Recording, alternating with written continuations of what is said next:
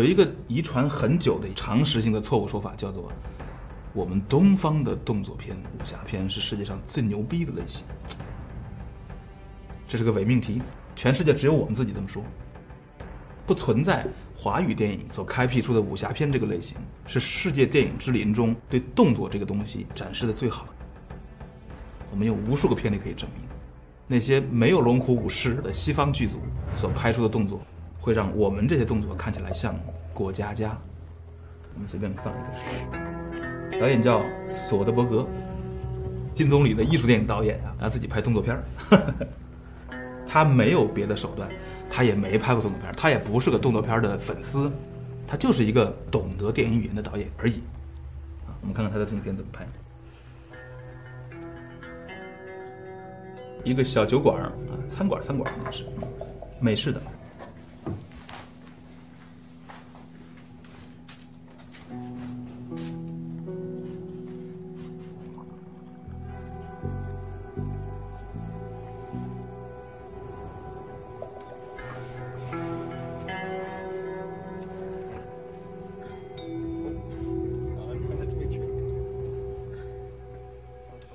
交代这个人是有点原因的，因为他待会儿是参与打斗，只不过呢，这个交代也是一个远景的交代啊。女主角看了一眼，他就不会拍一个这个镜头，他就只能拍个这镜头，因为他此刻的关注没有这么近，你就不能越过这么多的障碍去给一个近景镜头。他在尊重什么？这个导演怎么会会有这么多条条框框？那很多所谓中国的艺术家会说，那还不是导演说了算？我就给他一个，这是我的创造，我的艺术。去你大爷，这胡扯！你不尊重这个空间，什么都没有，啊！你现在随便给特写，将来需要给特写的就没有效力了。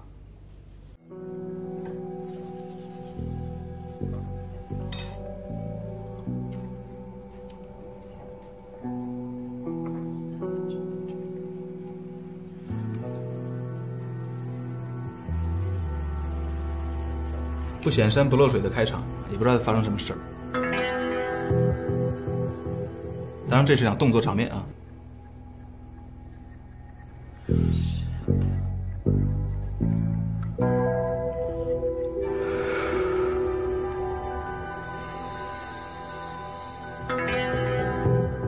做准备。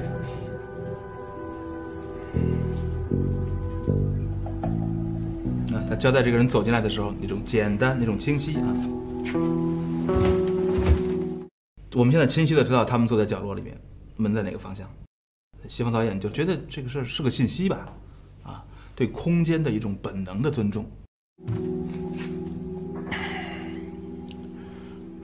What the hell are you doing out here? I had to drive all night. 好，我们时间关系就不看他们对话了。就是那男的要劝他回去，女的说：“我不会回去的。” What exactly did he say I did? He didn't. He just said to come pick you up. Nothing else? Nothing about Barcelona? No. Nothing about Dublin? Nothing about Paul?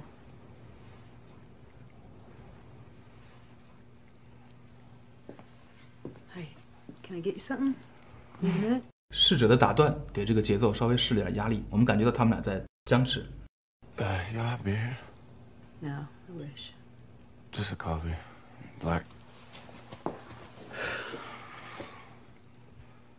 Okay, if you got something to say, say it. Aaron, you have you even seen him? No.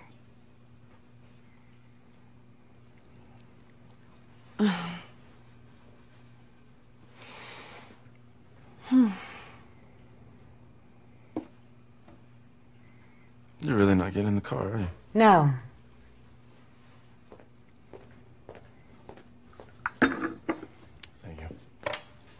You got any? 好，现在我们知道打斗开始了。那现在再回忆一下，打斗开始在哪个点？我们为什么会感到非常突然和猝不及防？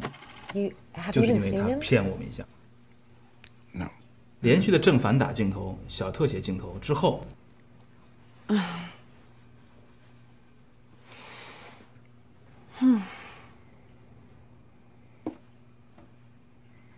You're really not getting in the car, are you? No. 拒绝，但是景别突然松开了。刚才我们在盯着两个人的脸看，他们到底会不会吵起来，会不会打起来？我们一直有这个期待。哎，松开了，在景别上我们稍感安全，同时来了一个外人，哇，这个欺骗性太大了。如果要打，也不是这个时候吧？这是我们的通常理解。Thank you. 他还在说话，你打死你也想不到他会在这个人还没走的时候就开始，在一个景别中开始。注意看，You got any? 动作就是这样，这就是我们理解的生活中的动作，生活中的冲突啊，生活中的互相伤害。不变镜头，一个景别之内开始打。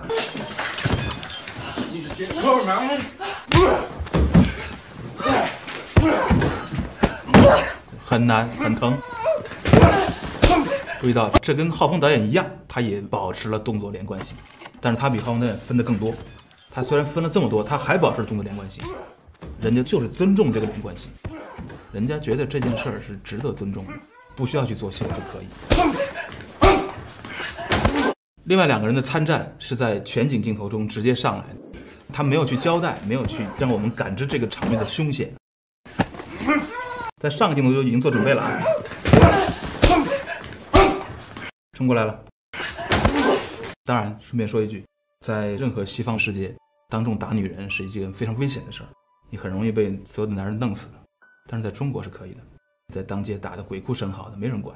当街有人围观，其中最勇敢的那个人会说：“哎呀，这个差不多行了，呃别打坏了。”这是其中最有正义感的人会说这样的话。大部分人会觉得，心里说：“对，是让你当小三儿呢。”啊，这个那个有正义感的人会说：“别打坏了。”这个话什么意思啊？首先是应该打的，第二是可以打的。第三，别打的太过分就行了。中国要是有一个男人在当街这么搞，其他人闪的比谁都快，跑的太凶了，太牛逼了，这个人。但在外国，你可以做实验，你敢动女人一根指头试试看。所以这个男人上来救。旁边那个女人拿着咖啡杯等了半天了，注意没有？全景中啊，你自己找。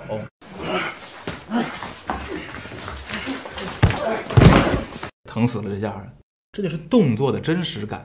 动作是会疼，是会累，是会紧张的。好，这哥们儿终于上了啊！注意看，他这一枪被他的这一个咖啡壶打偏了啊，所以才没有击中。这是在一个全景中告诉我，他趁机反击了。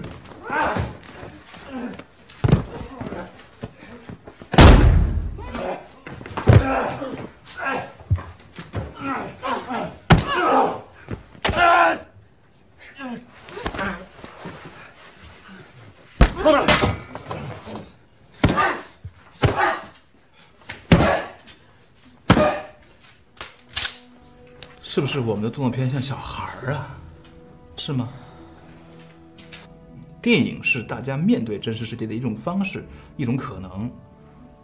这种动作片好看还是那种好看啊？当然，我相信任何一个会看电影的人，最后都觉得这个好看。只不过一开始他会觉得不适应，他觉得，哎呀，这个心惊肉跳的感觉，看完之后很紧张，对吧？你我更愿意看一个那种啊，白衣如雪啊，西门吹雪那种决战紫禁之巅，然后马力苏到极致，然后任何人都打不过我的那种感觉。他想这样，那你怎么办？对吧？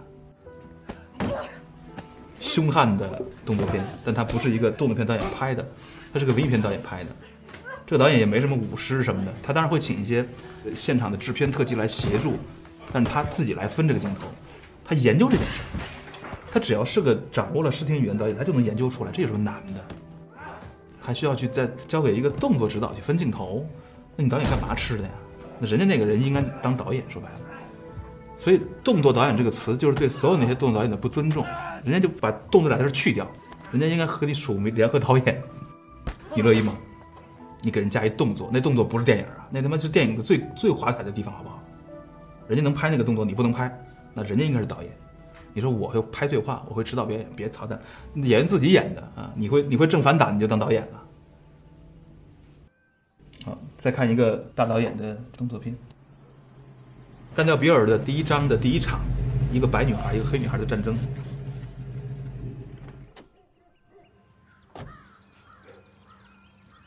瞧这房子搞得跟个积木似的，非常奇怪啊。他他也是这种恶趣味啊，很怪。但是昆汀掌握的是一种最基本的元素级别的好莱坞分镜技术，他靠这个技术，他别说能拍动作片，他什么都能拍啊。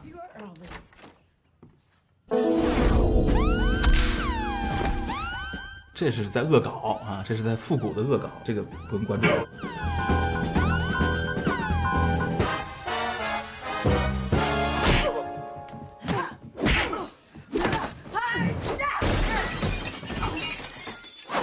分镜头拍的吧，动作是连贯的吧？这比哪个中国华语电影的所谓动片差呢？各位，只是没有穿上我们的白衣服而已吧。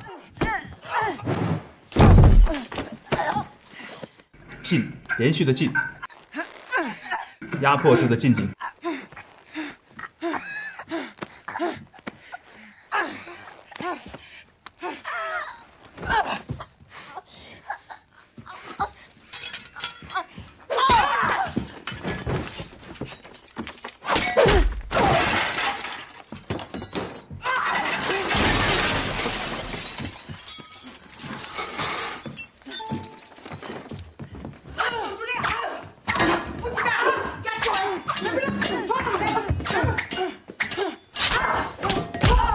加速，那脚就加速了。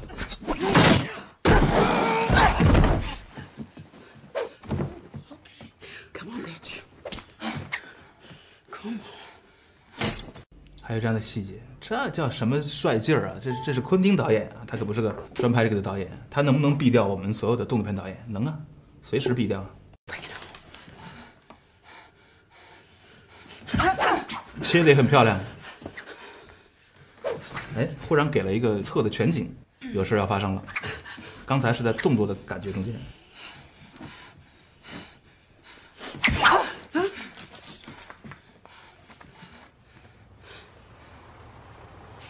哦，提示之后啊，是这个意思。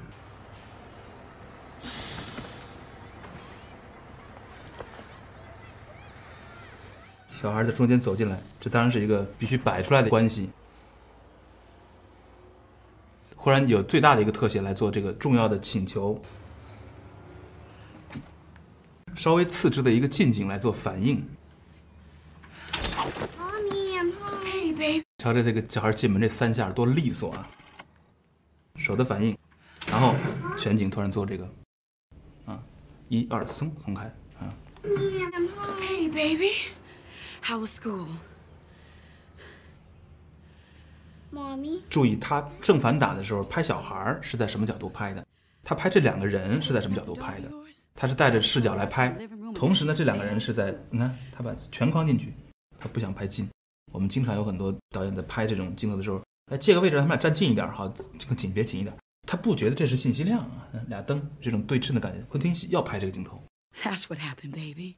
这 两人中间的这个小孩，Baby, now you can't come in here. There's broken glass everywhere, and you could cut yourself.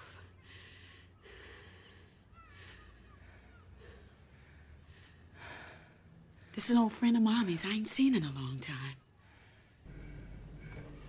这也是电影本体，但呢，这要比我们那种回归，你比如说啊，侯蒙导演的片子相比这种片子，分镜就可以再多，就有分镜不足的问题。因为同样的动作里边，更多的角度、更多的信息量、更多的景别，会带来导演对这个节奏的附加。我们会觉得，虽然回归了动作本体，但是动作显得太慢，动作的快感不动感不强。那，刚才我们看的这个，它完全回归了本体，它也完全保留了动作的连贯性，但是我们感觉到动感，还感觉到导演的帅劲儿了。导演真想加快的时候，稍微快切一下能做得到；他慢的时候，他也能立刻停在一个他需要的景别上，他是能随时随地做到的。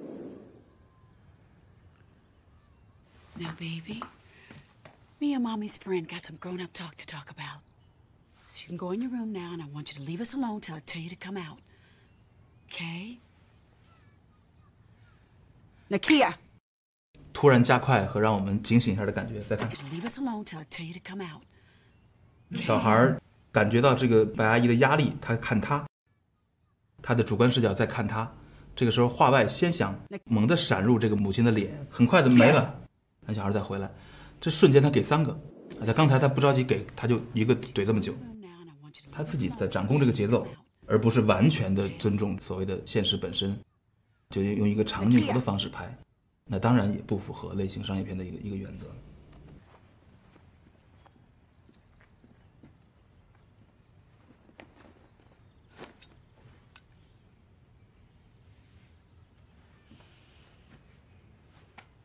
You want some coffee? Yeah, sure.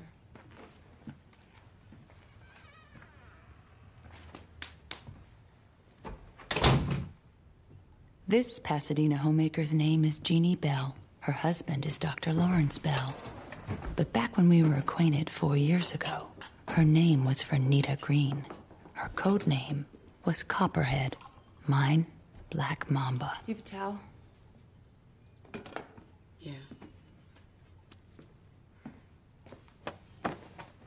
下面的悬念就是他们什么时候再抱起伤人啊？这和刚才我们在等待其他的变化一样，导演将在什么景别中啊，什么镜头中给出这个变化？ There's a baseball diamond where I coach our little league about a mile from here. We meet there around 2:30 in the morning, dressed all in black. Your hair in a black stocking.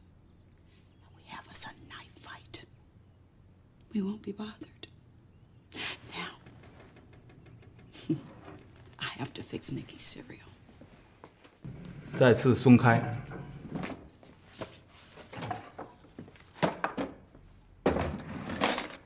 Bill always said you were one of the best ladies he ever saw with an inch. 距离拉远， Fuck you, bitch.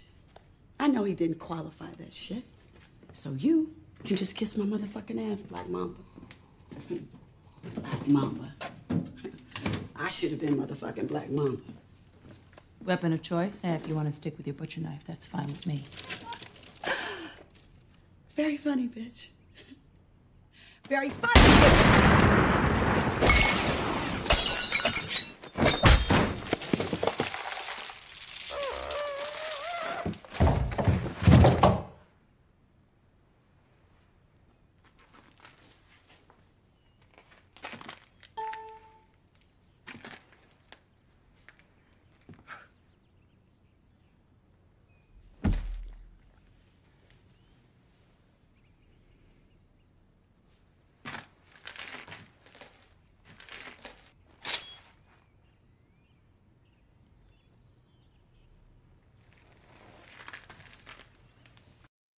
对，这才是重点，对吧？就是我们其实预见到他们会打，也预见到有人会死，但是我们不会预见到最关键的这个转折点是女儿什么时候出现，是一个简单的遮挡性出现。但是这个出现又避免了让我们直接透过女孩的眼睛看她妈被杀的这个现场，她滞后了这件事儿。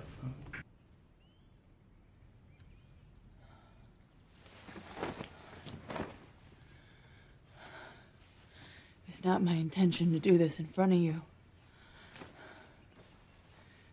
For that, I'm sorry. But you can take my word for it. Your mother had it coming.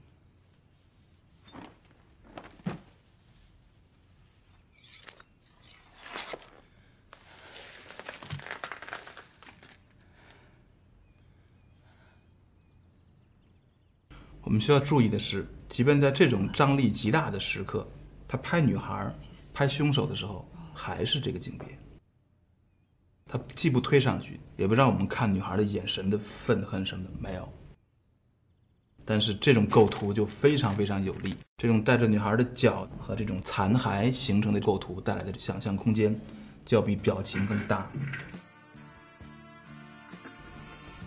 我用两个片子来向大家证明，并不存在华语电影在武侠动作片这个类型上的优势。这个事儿是我们自己骗自己玩的。所有有认知能力的电影从业者和电影观察者、电影观众，都应该认识到这一点，就是我们之所以觉得有一个所谓的东方动作片的传统，我们在这个类型上很强，唯一的原因只是我们其他类型太少了。我们直到现在为止，都还缺少很多其他关键的电影类型。啊，我们的电影，我们的尤其是类型片这个这个层面上，基本上还处于一个启蒙阶段。但是不要误会，我们在、动作片上很强，我们在这儿这个类型上和这个这个西方电影的差距，与其他类型没有区别，一样的差距这么大。